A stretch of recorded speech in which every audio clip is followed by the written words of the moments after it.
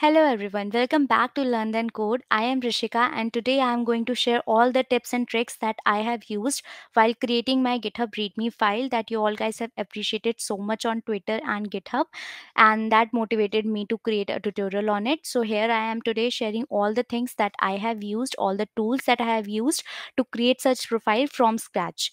So I have used the tools like Canva for creating images, GIFs, and logos that are uh, available on my uh, GitHub profile.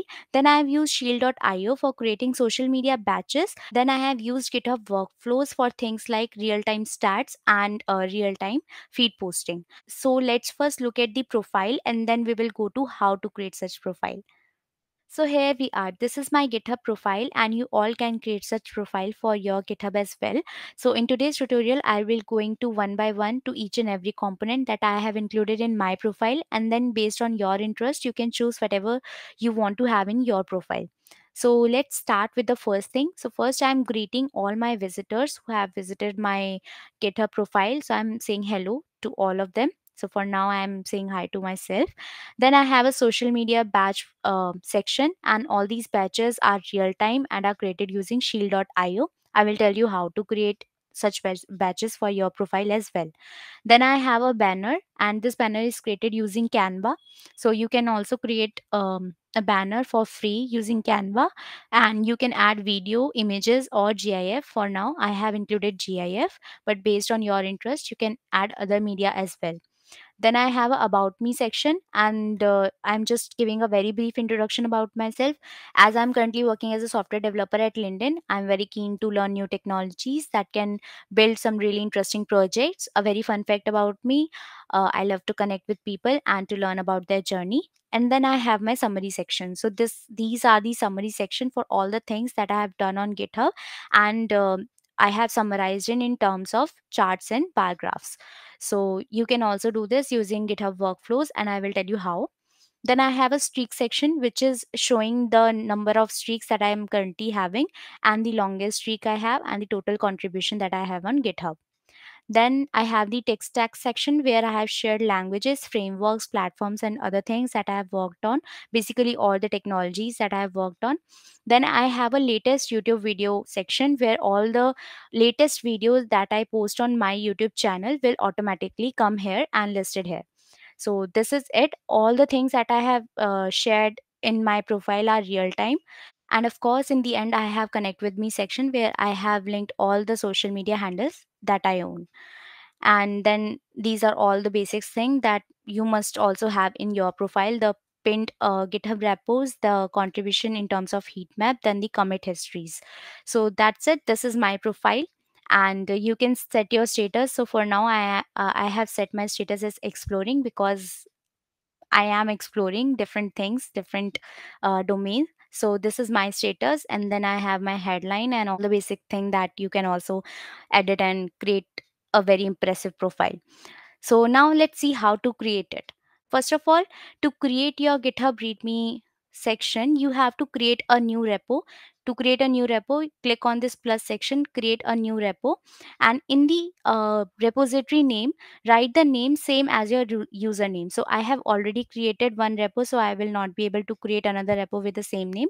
So I have created one repo, but to add your readme file and to uh, decorate it you have to create one repo with the same as your username so this is this is my profile and here in the readme section you can change all the things that you want to have in your github profile and it will automatically come to your github profile as well. So now just to edit it go to your readme profile. So i will click on this edit button and then you can use all the markdowns that are there in um, github markdowns and use them to create your own readme file. So let's see all the things that i have added. So you can preview it also. So first i have this section right? Greeting section. So what i have done for this is i have used this heading tag. So you can use html to create your readme file as well right? You can use image tags heading tags paragraph etc but you cannot mix and match the github uh, markdown and the html so please make sure that you are not mixing them. Otherwise it it will not work. But individually you can use them. So for now like i am using this header uh, this heading. So i have just mentioned that hi i am rishika and then i have this image of gif that that waving hand right? So this this is the first part a very simple one just a simple heading with my name and then the image. You can download this image or you can have it from my profile as well so, yeah, this is the first section. Then I have the second section of social media badges. And again, uh, as I mentioned, I have used shield.io for these badges. So, what you can do is go to shield.io, uh, go to social, and then here you can see all the badges that you can use. You can use GitHub followers, GitHub forks, etc. So, let's say for now I have. Uh, I haven't added GitHub followers right now, right? I have LinkedIn, uh, Twitter, and YouTube. So let's say how to create a GitHub follower badge. So all you need to do is click on this GitHub follower and then write your username. So for me, I'm writing my username and it will create a badge for you. Uh, okay. Yeah. So it so as you can see my followers are 26 right now and uh, shield.io has created this badge. Now i can copy the markdown cop- click on copy markdown and then add this badge here. And if you can preview so here the number of followers are also added. So you can also create your badges uh, based on your profile. It will you know run automatically and add numbers in a real time so this is about the bash. Then the third thing I have is this banner. So I have created this banner using Canva. So you can also create one using Canva. This is just simple heading and all these things. So for the animations, you can use various animations like this, right? And then you can download it using this download thing right you can download it in uh, in png in gif and various other formats so once you have downloaded it you can add that particular image or gif in your section. So i have added this gif of the motto that i believe in and you can add according to your beliefs. Then the third section i have is about me section. So it is basically the html part only. In the about me section first i have the heading and i'm keeping it very consistent with h2 only the same as i have used for my greeting right? So first i have the heading then i have briefly introduced myself by adding the link of linkedin the company i'm currently working in. Then i have added all the text that i want to have in my about me section then I have my summary section and it is a real time section. So all the things that I do on my GitHub will automatically sum up and uh, will turn in in the form of charts and bar graphs, right? So for this, I am using um, action created by this particular uh, user and you can also use this particular workflow in your profile using a tutorial. And all the links i will provide it in the description. You just have to follow the tutorial how to add uh, a, a action in your profile and then you're very good to go. It's, it's very simple you just have to change the username and add token etc and then you and you will also be able to add action in your profile. So for this once you have added this particular action in your profile it will create a folder in this particular repo by the name of profile section summary output and then you can add them in the form of links right? So i have added this uh, four links you can add more or less based on what are the things that you want to add in your profile. Then i have a streak section.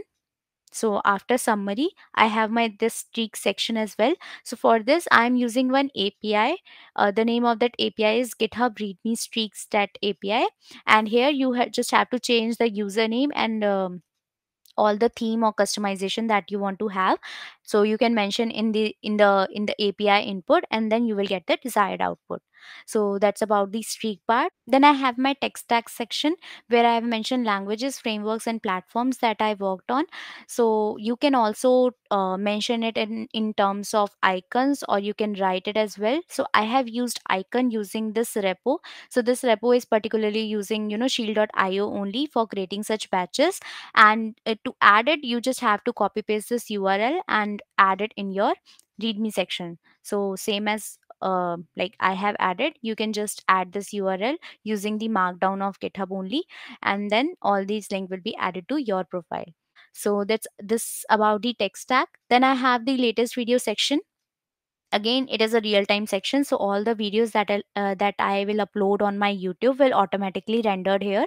So again for this i'm using an action uh, it's very easy to use and uh, there's a tutorial also to add this particular action on your profile and i will mention all the links in the description. I'm saying it again because i know that there are viewers who does not know what a github workflow is github action is and how to add them in your profile.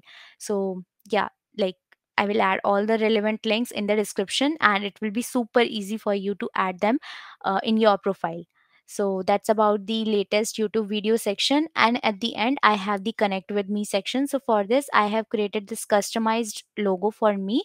Uh, for this, I have again used Canva.